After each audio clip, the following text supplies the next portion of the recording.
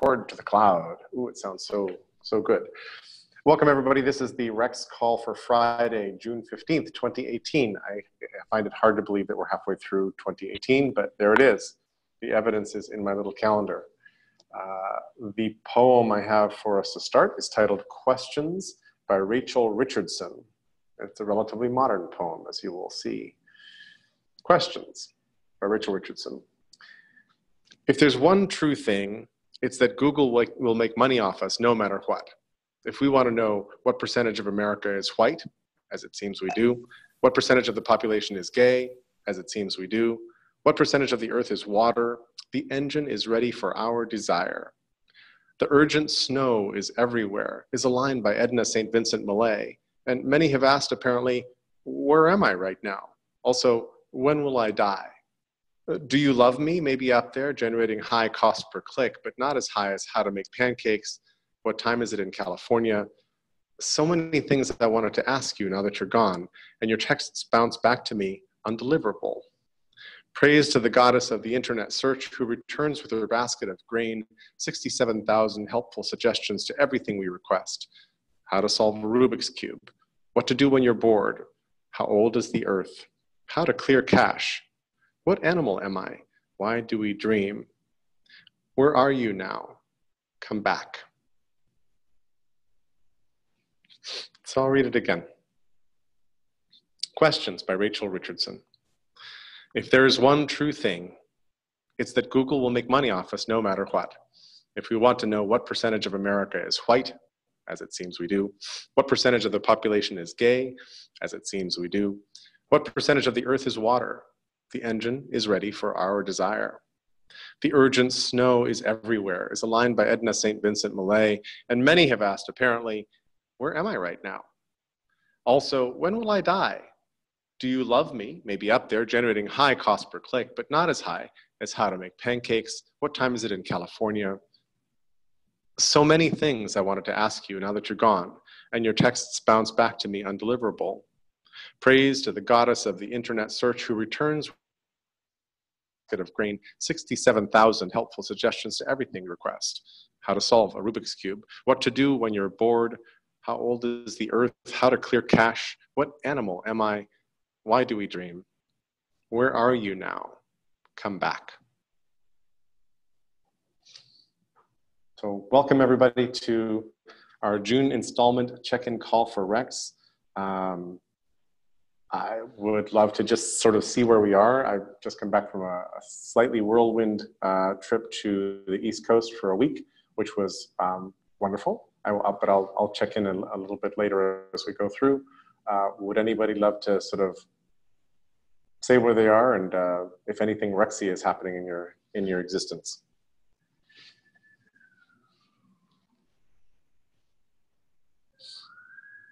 Anybody? Mark, Esty?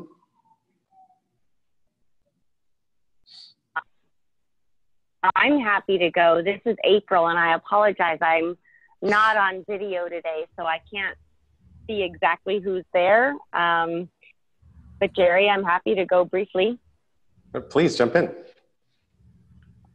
So I've had a very Rexy last 10 weeks or so. Um, and I'll, I'll keep this brief, but basically I am emerging from a kind of cocoon that I have been in since mid April. And the main thing is that I have just, uh, well, the class finishes officially next week, but um, I have hit the pause button on much of what I'm doing, which I can come to in a minute. But I've been doing a yoga teacher training class, which um, has been a dream of mine for a few years now, and not with the goal of teaching yoga, but I definitely love that I have a new credential now and I can teach it if I want. Um, I taught my first 60 minute class on Tuesday, which I loved. But um, on at least two different levels, it feels very Rexy. One is simply doing the deep dive uh, into yamas and niyamas and yoga principles and paths of life and all the rest that I think I was shocked by just how Rexy all of that was and how well it aligns and all of that. Yet, you know, some of the stuff coming from two or three thousand years ago. Um, I would I would be happy to host a call at any point in time on anyone who's for anyone who's interested in learning more about all of that. Um, but I've just I've just been immersed in a very different way of thinking about um, the world and, and not just what I do, but how I am in the world. So that has been extraordinary. And then on a professional level, it's interesting. I knew that taking this course would impact how I looked at my portfolio and how I think about what I do. Um, but I think at a more profound level or equally profound level, also, um, this was the first time ever in my life that I've kind of hit the pause button to this degree and and did something that actually felt quite unsettling um, in terms of, particularly because you know I work for myself, and so making a, a shift like this is a big deal, and um, it was very unsettling but it cracked some stuff open. And it's interesting. I use the term cracking open very deliberately because I think so often when we think about cracking open, we focus on the cracking, which is almost like something's broken. But in this case, it was the opening. And I was just amazed by how much I realized that in order to do a lot of deep work, you have to hit a pause button. You have to, in my case, be in one place to do this um, all of these things that I think I took for granted before, but I now look at this and I go, wait a minute. The only way that this, a lot of this deeper internal work can happen is if, is if you do take those other steps that feel very frightening or unsettling or whatever. And I know this sounds really vague, but I think this manifests differently for everyone.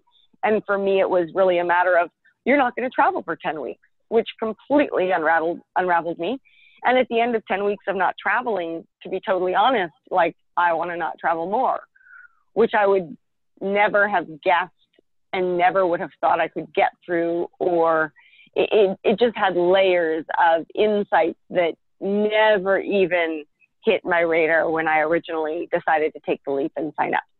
So, anyway, that's my Rexy uh, experience. And again, anyone, there's just a world of interesting rexiness in what I've learned. And um, I tabulated since mid April, it was a 200 hour course, but I've actually spent 250 hours in the last two months working on this stuff. So I got a lot of info, got a lot of resources. And um, again, at a later time, I'm happy to, to dive back in. Thanks, Jerry. Oh, thanks, April. it's lovely, and it's been lovely to just um, be there watching you go through this and see what it, what you know where it takes you and uh, what questions it opens up, all those kinds of things. It's been it's been delightful. Um, and and if anybody's curious about the the quest into sort of the the, the yogic principles and concepts and how they work, you know, go ahead and, and, and ask. Uh, this is an interesting path of inquiry these days. Um, I think for both of us, but principally for for April going forward. Um, what's uh? Hey, Esty. Um, what's what's uh what's up in your world? Um, well, uh, tachycardia event on on uh, Monday. And, that's not good. uh, wearing a, a, Holter monitor all day yesterday, or day before yesterday and into yesterday, and uh, so I may be uh, heading towards an early retirement. Mm. Um, no, I don't know. Um, so that's been kind of where my, my brain has been at lately. Other than that, I've been. Uh, um, so one of the amusing things in a conversation with the doctor about all that was that uh, you know recommendations were you know don't drink as much coffee, um, and um, uh, avoid thinking about stressful things. So you know uh, what, your your career is good for that. Your career is perfect for not thinking about stressful things. So um, I've been avoiding thinking about stressful things, and other than that, I've been uh, um, still working on the same kind of stuff I was talking about a month ago. You know, the projects on uh, future of climate, pro- projects on the future of or climate activism or action, uh, future of trust, um, and then thinking about uh, when do we want our machines to lie to us?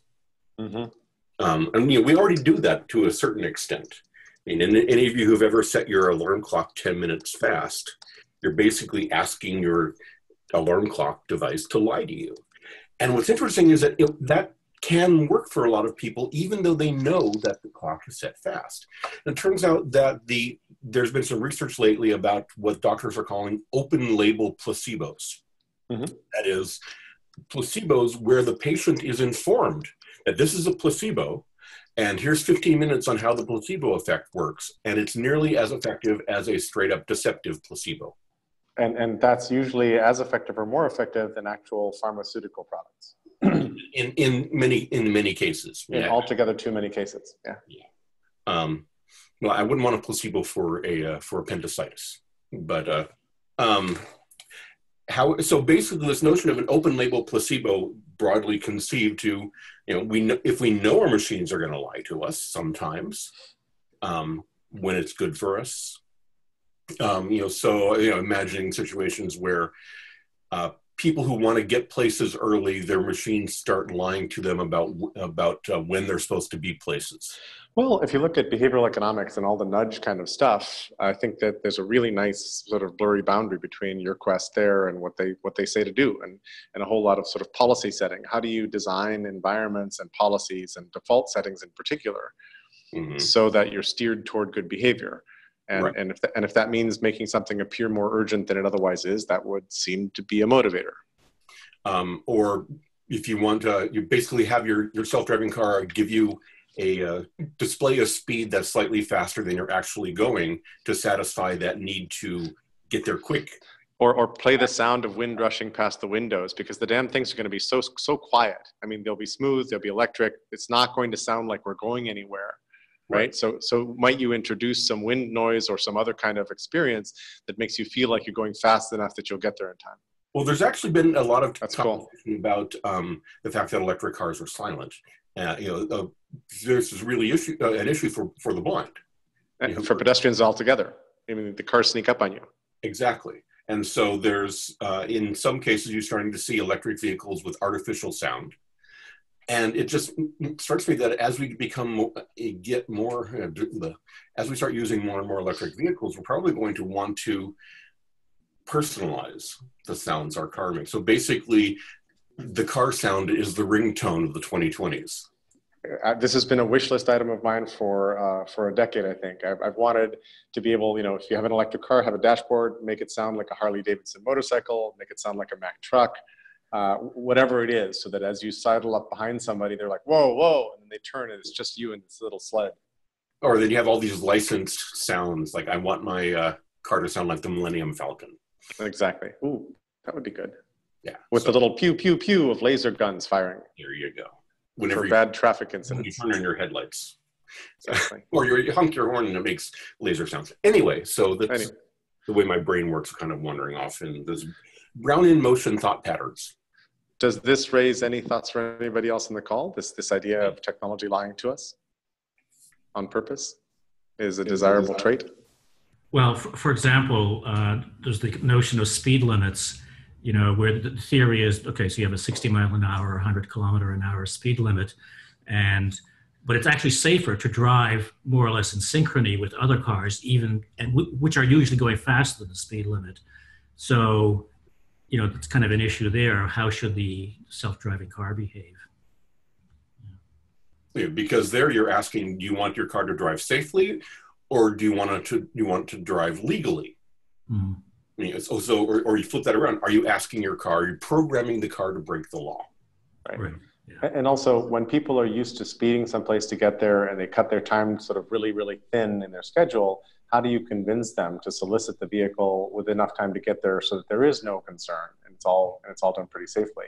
But when people when people prize their time in that way, uh, maybe one way is to make the experience of being in the future pod so fun that you actually want to solicit it well ahead of when you you know when you're needed when you actually need to get there.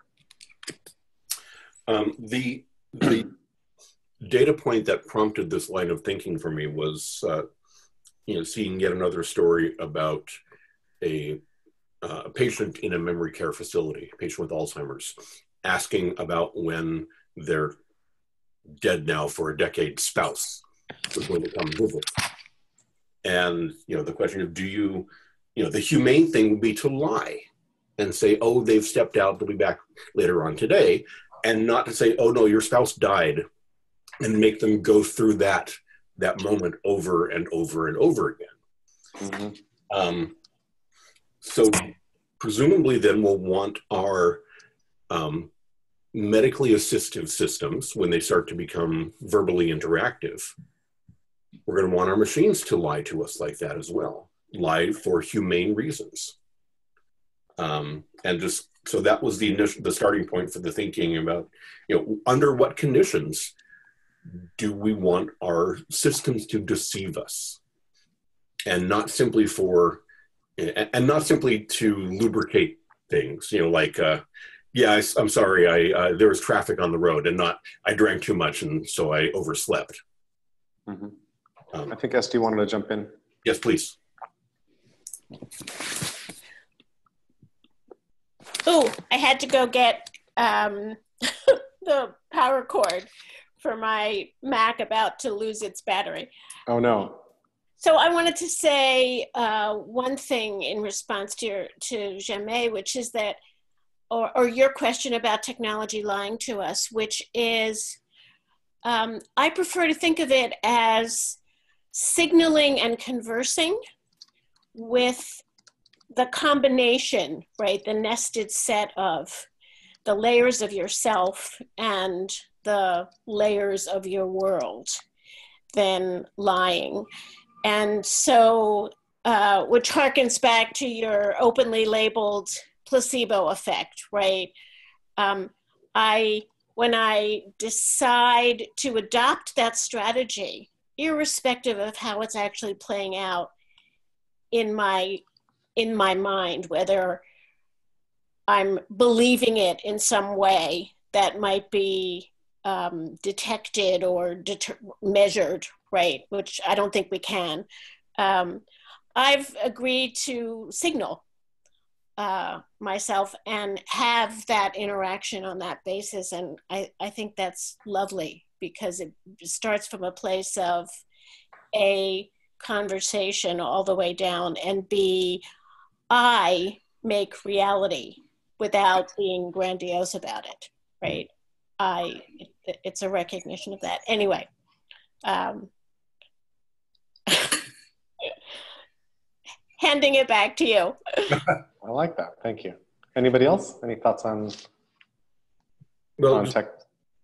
For, um, where this went for me eventually was thinking about um, when do we want our machines to say no to us? Um, you know, no, I won't, or we won't. I'm sorry, Dave. I can't I'm do sorry, that. Dave. I can't do that. Or I'm sorry, I'm not going to break the speed limit. Or I'm sorry, sir, I'm not going to fire on this village of civilians. Yeah. So as you know, mili- having military systems that obey the rule, not just rules of engagement, rules of war, military systems that won't commit war crimes will be really important.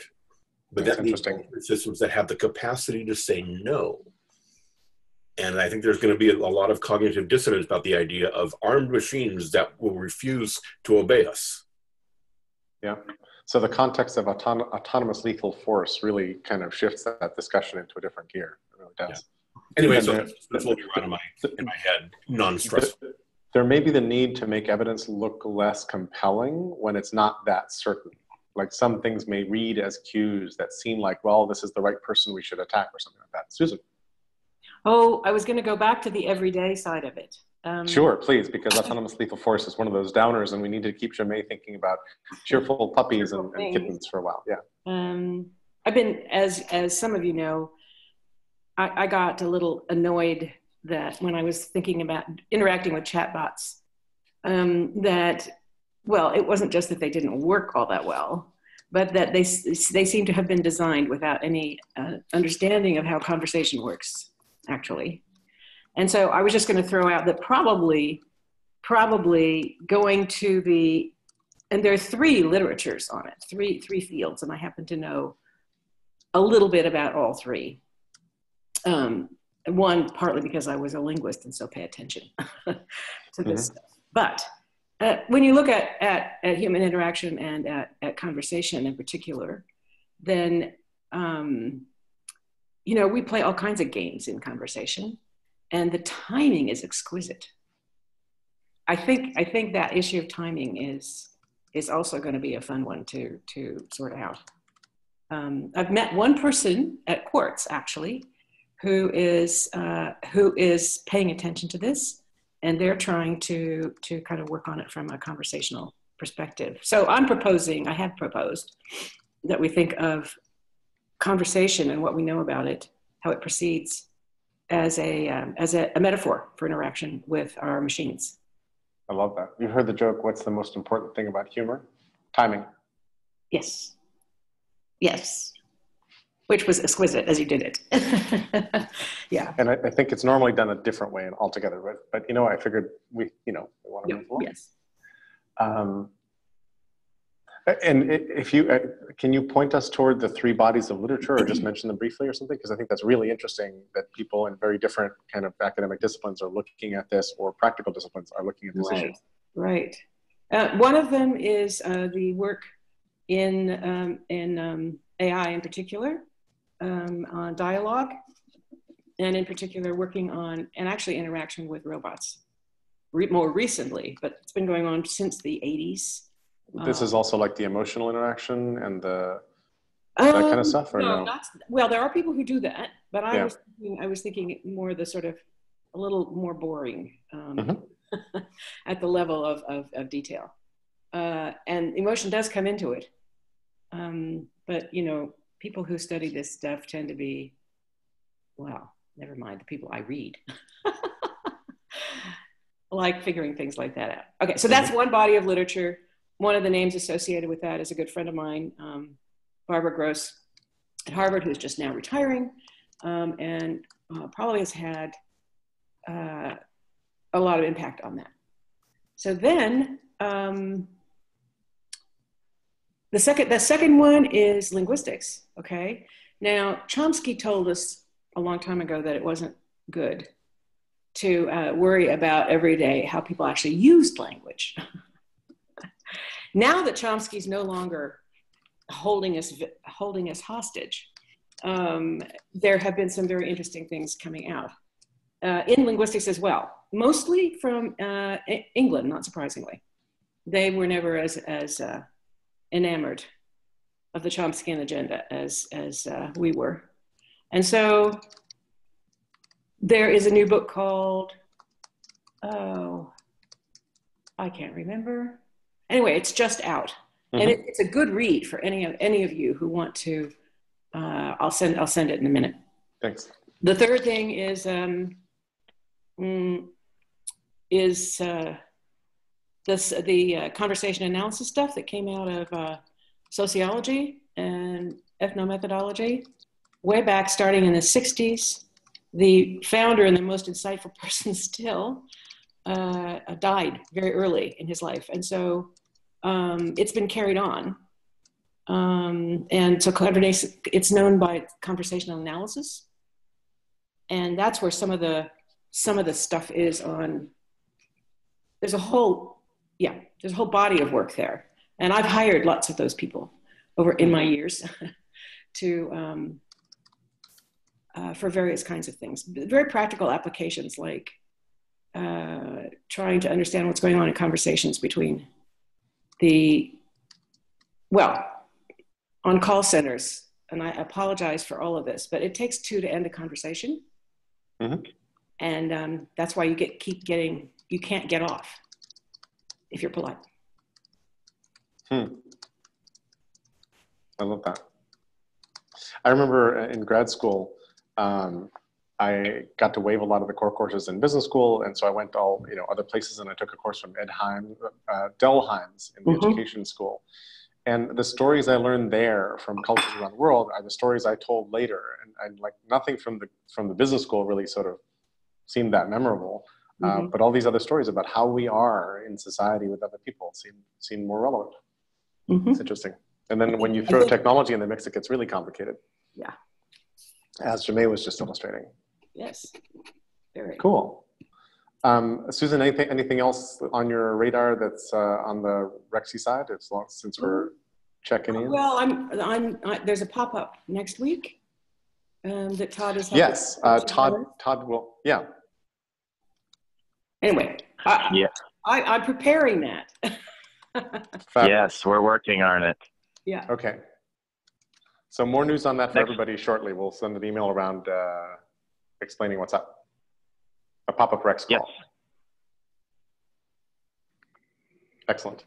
Um, also, I should say I, I have to get off this call at the top of the hour, so uh, we may be able to reconstitute, you know, reconvene elsewhere, or uh, we can just fold the call then. But I have a different call I, I must be on uh, at 10 a.m. my time. Uh, so shall we walk around? Todd, do you want to check in? Sure. Uh, I think one thing that I would love to share that I've been working on and thinking about uh, is I have a a client in the organizational culture space um, who wanted to build a team of culture coaches um, who are experts at intervention and it's given me like a six month journey of um, how would I train someone to uh, help improve organizational culture, something that's so complex, uh, something where long term strategic planning doesn't work. And it really, um, that iterative process culminated last week in uh, the chance for me to give a uh, a talk and a workshop at a culture conference on culture hacking. Um, and got great feedback uh, and really look forward to sharing some more ideas around it. But the main idea being that um, if you want to shift organizational culture, things like values and mission um, and purpose are all extremely important. Um, but there's also the capacity to start shifting culture from the edge anywhere in the system. Um, and it involves uh, being able to develop some shared principles, some intentions, even with a small team or a couple people, uh, and then approaching it with an experimental mindset. So I've had a, a fun week with uh, companies reaching out uh, and sharing examples of how they've been hacking their own cultures. Uh, so yeah, I've really enjoyed it. I, I think it's very Rexy work, and um, how I got there, I'm I'm not quite sure. It's just been um, something that's unfolded over time. Todd, do you have an example of what what kind of thing people have tried to hack? An easy one? Sure. Uh, so there was a, a manufacturing company uh, who had a very uh, common stereotypical problem between uh, labor uh, and the administration, um, kind of the people on the floor and the people in the office. Uh, and the way that they had approached this in the past was we're going to have company picnics and we're going to invite families um, and we're going to have all company meetings and we're going to have town halls. Uh, and they were trying to do all of this convergence at this um, strategic planning level. Uh, and they were seeing that it didn't have much of an impact.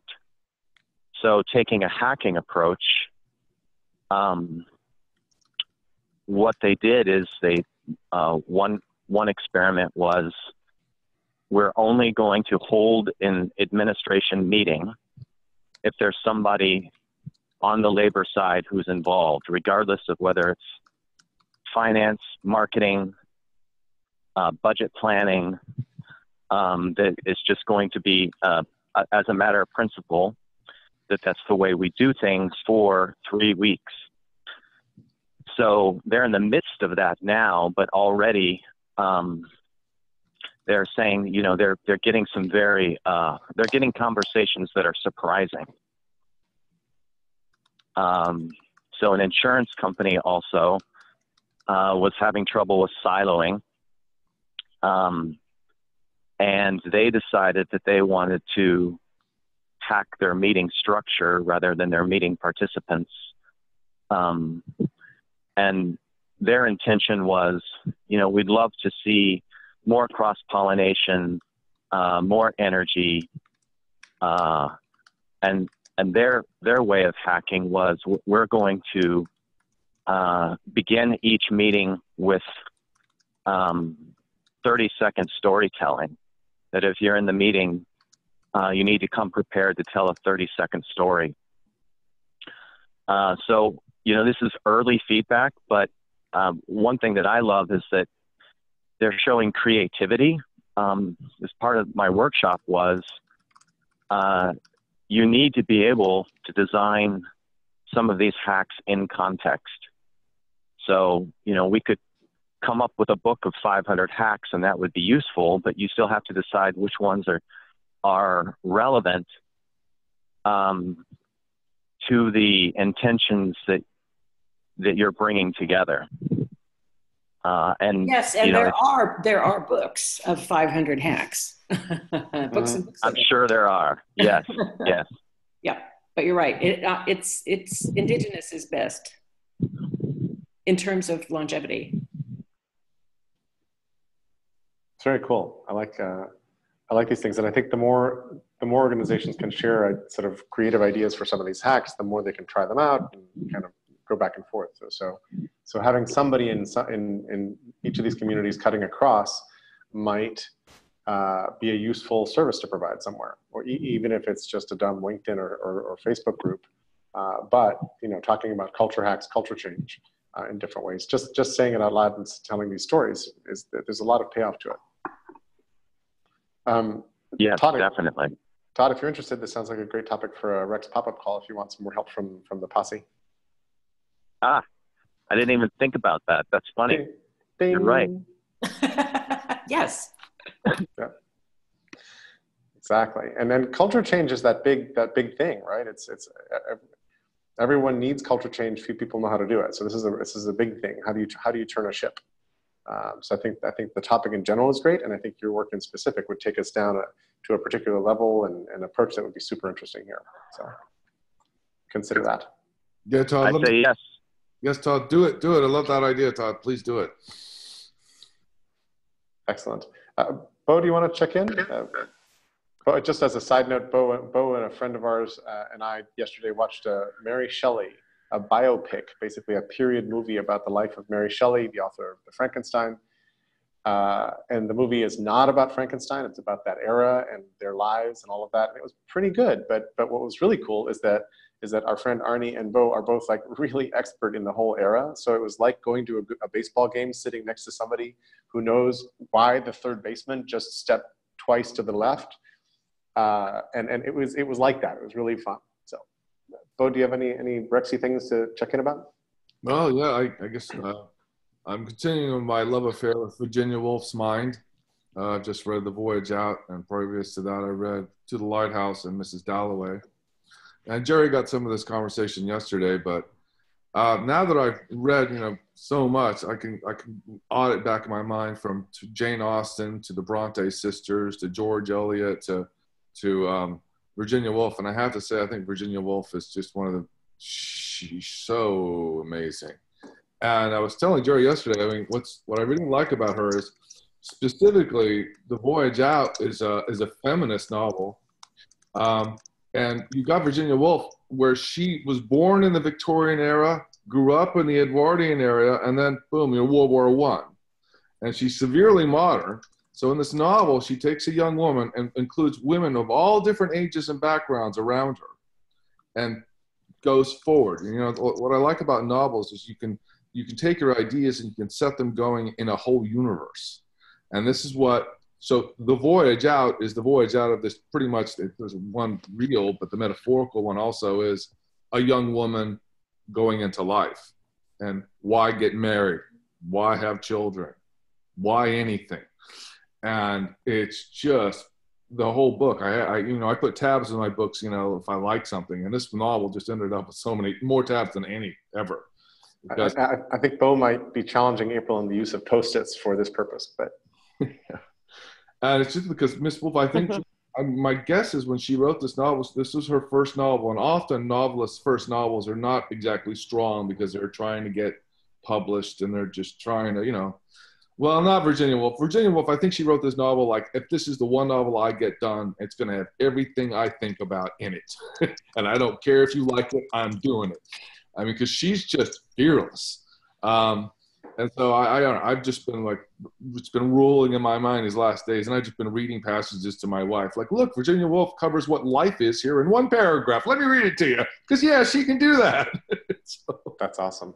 Anyway, so that, that's what I've been doing. You're reminding me of a book I read long ago uh, called Lifeboat by a Harvard historian named John Stilgoe. Uh, and he said, like, nobody seems to have written a history of a lifeboat, so here we go. And one of the things he says is that lifeboats, when they're in use, oh, you have deer on the on the on the porch. Wow, beautiful. This is a uh, the home in Long Ridge, on the other side of the hills from Silicon Valley. And look, there we are. Wow, isn't that great? Thank you, Susan. Thank you. That's wonderful. Um, so in in lifeboat, Stilgoe says, look, nobody's written about this. And one of the things he says is that once you're sort of trapped on a lifeboat, it's a microcosm. It's it's different social strata. It's very experienced sailors mixed with you know uh, passengers who are scared stiff. It's whatever. And it's only what you have in the boat that matters. So what did you put in the boat before you needed it in an emergency? All of that kind of thing. So it's it's the same thing, only compressed into a little a little dense packet. But uh, love, love that idea you can't imagine how relevant that is to this book, The Voyage Out. She oh, takes cool. a bunch of English people and puts them in a town in South America in one hotel. So it's exactly that same thing, and she does it quite incredibly deliberately. You know.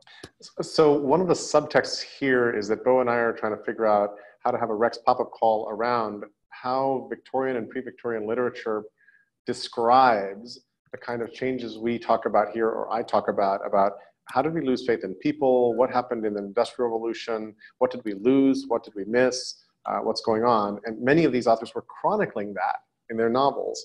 And in some cases, they could talk about these things explicitly. In other cases, they were these were sort of hidden narratives that you have to scratch around for a little bit. So I think all of that is very interesting fodder for, for our Rexy discussions. Yeah, I'll add a little bit to that. I mean, one thing you can really see definitely in, in the uh, Victorian time is you still had the last vestiges of feudalism, of I live in the village and I work here and I know what my life is and everyone knows what I am and who I am to everyone else. And it, it's also falling apart. And you, the Bronte sisters were, were really covering it. And there's this novel called Shirley, which just, you got the Luddites, you've got the disruption of their families, the disruption of their lives. So it's really clear. And I, I yet, I think I got to read Max Weber next, by the way, Jerry, to get a hold of this because Max Weber invented the word capitalism, everybody. Hello. Gotta read that guy. uh, I didn't know that until yesterday. And I, have had his book, and I'm like, I gotta read that. Anyway, uh, so you see, uh, those novelists knew the past was leaving. They saw, mm-hmm. they knew it was leaving, and so they did. They chronicled the time when human beings had a place. And I think right now we're so used to none of us having a place. Mm-hmm. Uh, this, this, and places are being broken up. We're we're becoming more nomadic. All of that. Yeah, and we, you know, who I am. So uh, reading it, I, I, and I guess Jerry could tell you, or I'll tell you, a way I like to stay in the present is to stay half in the past because I don't want to get so enamored with the present and think because this this end of history bias that everyone seems to get, you know, oh yeah, we're in the greatest time ever. This has never happened before. Bullshit. It's always happening the same thing. You know? mm-hmm. So, and, and the other thing I do all the time is I invest. And one of the reasons I, my my history and economic history, and also this literature helps me stay, you know, have the right perspective and not get caught up. And um, so, yeah, that that's the way I operate my life. So I'm either reading the Financial Times, The Economist, or Virginia Woolf. Right? That's way that's the way my life runs every day. Okay. Love love that. Thanks, Bo. Um, Mark or Esty, you want to check in? Yeah, I just wanted to make sure I shared that as a result of what I think of as the first time we did this format of going around and talking about the Rexiness in our lives. Um, uh, and my uttering the meme that was weaving through my mind at the time of New Grammar of Productivity. That um, a I've been collaborating a lot with Todd and um, feel very activated in general on this being in the world.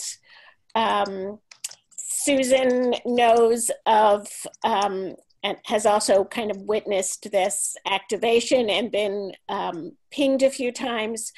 I'm both delighted and chagrined that she's doing her pop up this coming week. And um, uh, meanwhile, the, the, the Todd Esty action from this group a while ago to do a pop up has been uh, kind of pushed out in favor of other things, I think. Um, anyway, I invite Todd to give his perspective here, but I, I want to thank you and this group for that um, one small thing intervention in in some way. Um, also, Jerry, yesterday I went and watched the the video link that you sent. Oh, I didn't. Mm, yeah. that, Jerry. It My was- PDF talk. Yeah, oh, good, which Jerry. was um, it took me quite a while to untangle my brain from PDF meaning right something else. Anyway, Right. Uh, it's not so- the format of the document format. yes, exactly. Um, it was interesting to watch that the response attenuated over the hour or so. Um, but I had not seen you do the Prezi live and all of that. It was just, it was lovely to see the format um, and the use and the ability to just make words dance, right? The the choreography of, of bits of text that that you did there. It, it and and you know the, the it was really effective messaging as well. I also watched the Pia, the woman that came after you, Pia Mancini. and found her message and visuals to be major impacting.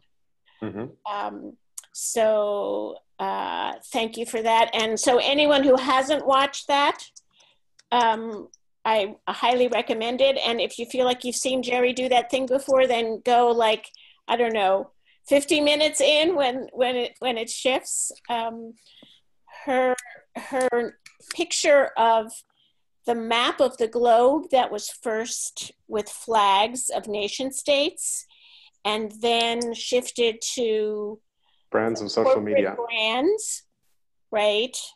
That what was a, a, an unforgettable um, moment for me. Um, yeah. Esty, thank, thank you, Esty. That's that's lovely. I'm I'm, I'm thrilled about that. And uh, Pia, I've known Pia a while. I've met her through IFTF because she's attended several uh, 10-year forecasts, and she's a an IFTF fellow, right, Jamais? Fellow for good. Uh, you're muted. Sorry, I missed the name. Uh, Pia Mancini. Yeah. Okay. Mhm. Thanks. Um, Esty, thank you so much. Uh, Todd, were you about to jump in? Yeah, that just- I was just Go for it. I was um, going to, to piggyback on what Esty said. Uh, we have had a an exploration uh, with two or three others now um, for a couple months um, that has just been quite beautiful uh, when you uh, provide some structure and then let go of the structure and provide some structure and let go of the structure when we know that there's some um, core idea here uh, that's extremely rexy around the new grammar of productivity, um, but we don't really know what needs to be done or um, how to talk about it. Uh, and it's a it's a huge challenge to to have an exploration like this and keep the energy in it. And Esty, because of her passion and because of her ability to let flow provide structure, um, you know, I look forward to seeing where this is going to go, not just with a Rex pop up call, but uh, Mhm. I think we're going to have something to talk about for months to come. That's great. I think it probably has something to do with multi-minding, but I'm just guessing here. Um, thanks, Todd. Uh, Mark, would you like to jump in? Uh, sure. Um, so a couple of things. One is uh, actually I'm going to be attending this local conference, uh, um, which is kind of a local version of a more these more global ALIA Authentic Leadership and Action conferences that were held here in Nova Scotia uh, for about 11 years or so. Um, and there's a theme of locality and of working from bottom up or local up, uh, which I think is very interesting that I'll be following up on. And the, the, the other thread, and, and this relates to what April was talking about uh, in terms of yoga and maybe also Jamais, um, which is, I guess, what I'm calling the resting or the resting state of attention. And, and the context here is uh, kind of the, you know, I think what a lot of us have recently realized, or maybe not so recently, is that uh, through our tool system, and, and by the way, that, that's an Engelbartian term that I'm finding really useful, that there's, in terms of our, you know, what he called the dynamic knowledge repository, that there's the tool system part of that, there's the human system. Um, although in, you know, if you go to engelbart.org website, the human system page says TBD or coming soon, mm. so, which says something. Um, this is um, Doug Engelbart who gave us the mother of all demos, etc. Right. Yeah. Um, so, so the, so the, the theme here is that uh, uh, you know we set up tool systems which uh, monetize our short-term attention and therefore try to uh, shorten attention and and train it in being that way and that that in effect at, amounts to a what I would consider to be a direct attack on a, our resting state of attention. And the kind of hypothesis here is that that is the basis of sanity. And you know, and without that, it, it, it's really easy for any kind of actors to get in and undermine our democracy and you know whatever else you, know, you want to think of. And so the question is, well, how do we promote the rest, that kind of restful state of attention? And, you know, kind of what is that and so on. So th- that's kind of a, a, a, major theme.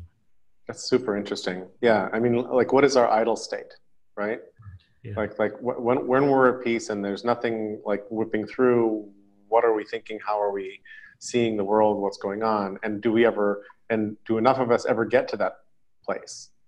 Yeah. Right? And, and there's, there's a, and there's a further aspect to it, uh, which again is something I, I realized more strongly recently, which is that you can say, okay, there's a tool system, there's the human system, then there's the what you could call the life system, and the three of those make up our ecosystem nowadays. And I think our sanity also depends on the life system. And to the extent that we are more and more divorced from kind of our biological matrix, uh, the wild, wilderness, um, that that also affects uh, that. And so again, that's the kind of the challenge of uh, uh, okay, in this kind of day and age, you know, most of us are urban these days. Uh, the whole globe is mostly urban now, and uh, and at the same time, there are, there are a lot of attempts to to get back to kind of or reconnect with that kind of, or, or in other words, that our, our sanity is not just human sanity. There is a multi-species and multi-biological sanity that we also depend on. And maybe when we try to go to Mars, we're going to realize that even more strongly because we don't even know what, you know, what, what the bases of our lives are. So, so that's, so that, that kind of triple theme, a tool system, human system, life system, and how does that work with sanity? And the fact that we get these really negative feedbacks, which, you know, we all help create this world and then there's all these not totally anticipated effects where we're undermining our, our own minds, basically. Mm-hmm. Love that. Um, I just want to mention for Esty a question, but I also want to check in before I have to drop off the call at the top of the hour. Uh, but for Esty, um, multi-minding I, I, picture very much as these flows, these sort of interconnected flows over time. And I'm wondering what this resting state of attention looks like in a multi-mind perspective. That may be an interesting thing for you to if you've not already plumbed that that terrain, I think that may be very juicy territory to go into. You're you're muted. I, I clicked the wrong button to reveal myself. Mm. Um, I've been doing what I call embedded processing since about 6 a.m. So, um, and you didn't convince me to shift to venues. Uh, um, yes, um, and that in fact that resting state and a kind of return to a, a, a um, I was going to say minimalist version, a minimal version of that between micro decisions and micro actions has been at the root of um, the notion of product support for multi-minding, of, of digital support. Yes. So anyone who wants to pop into the chat channel or otherwise communicate to me pointers Mhm. and pieces of that, um, including April, I, I had noted that there might be a conversation from the Yogic perspective. yeah, uh, what I call the, the compound word mind, body, soul with 3 Mhm. capitals um, Mhm. Entity perspective. So That sounds lovely. That sounds thank, lovely. thank you, Jerry, for asking and right, open for all. Cool. Um, let me jump in quickly just to, to do an update. The I'm really I'm really glad you like the PDF talk. Uh, and sorry, I'm getting an echo back from one somebody's line. It might be Esty. Uh, and the talk would not have been what it was had I not previewed it for April five hours before climbing on the red eye on Tuesday night to fly out to give the talk. And then April, I can see her brow furrowing, furrowing as I'm going through it. It's just a 15 minute talk. And at the end, she's like, I'm not sure you want to say what you said there or in the way you said it. and then she proceeded very nicely to make a couple, uh, a bunch of points which were completely dead on. And I'm like, oh crap. So on the flight out, and then in the next day, because I had a day uh, to, to think about it and work on it, sort of, as, as well as several other little incidents that were popping up, um, I re- reworked the entire thing and then gave it on, on Thursday morning at the Personal Democracy Forum and loved what I, I really enjoy what I gave, but it would not have been that had April not uh, raised the issue that the thing I had been struggling for two months to write and create. I think the reason for the struggle was that it, I really was landing on the wrong on the wrong field uh, with the wrong vehicle, the wrong aircraft. So um, that got changed around a lot. Uh, you know, love to hear any other any comments you all have as it goes. Um, I also uh, attended my old Quaker meeting on Sunday. I went to a Wilton monthly meeting of the Religious Society of Friends, which I hadn't been to in a really, really, really long time. And there were six or seven friendly faces that recognized me, and I recognized them, including one person who sort of had to be prompted to recognize me, but was an old friend. She's aging a lot. Um, and it was just, it was really nice. Partly uh, over the week, I was welcomed as family by multiple different small groups. Uh, one group was the Personal Democracy Forum because I'm part of their birth story in a way. Another group was Friends Meeting in Wilton. Uh, another group was a family I stayed with after Friends Meeting. I went and visited old friends from a, a job long ago who live in Connecticut. And, and so it, it kind of kept going that way. And it was really, um, it was a feeling of moving from sort of one Rexy atmosphere uh, into another over time with uh, with care taken with friend you know old friends and things like that. So it was really it was really lovely.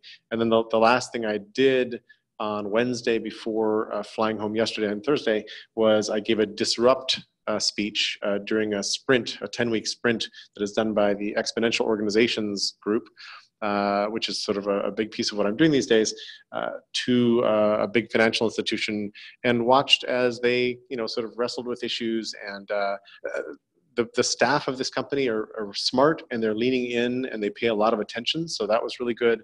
Uh, but then somewhere afterward, I, I, kind of heard a little side, overheard a little side conversation because I took a very strong point of view um, in the talk, and I heard a side conversation of, hey, you know, I'm glad you're here as one of the judges for the startups that, that happened after my talk, because you know our opinion is a little different from what was what was put in the room earlier, and and one of the things I'm sort of scratching my head about is how do I how do I pull that conversation in the room, and there isn't really time to go there, but but there's there, there's you know I'm interested in putting a strong point of view in the room, but I really love the thorny conversations that it can kick up and those conversations sometimes get steamrolled or there's a there's a feeling because we have things to do. You know the, the rest of the day was spent watching 20 startup initiatives that these these teams of, of staff had come up with um, some of which were really really good but we were often running on that. And so there was a piece of conversation left behind that would have been very rexy to have. So part of what i'm pondering is can I bury an invitation in my talks for more of that conversation? Because up front, I say, hey, some of what I'm going to say might be really uncomfortable to you. So if you feel discomfort, notice it. Uh, but I but I don't open that that door very much. So um, anyway, I, I'm going to have to jump up call in a minute. But uh, anyone have any last uh, last thoughts for our call today? It was great to see everybody again. This feels really good. Yeah. It's a good rhythm. Really appreciate it. Thanks, everybody. Any other closing thoughts? Thank you yet again, all of you. Thanks, Esty. Yeah. Same Good here. luck with the progress on all these things. all. And we will see you all on some pop-up calls and on our list and wherever else. So bye for now. Okay, bye. Thanks all.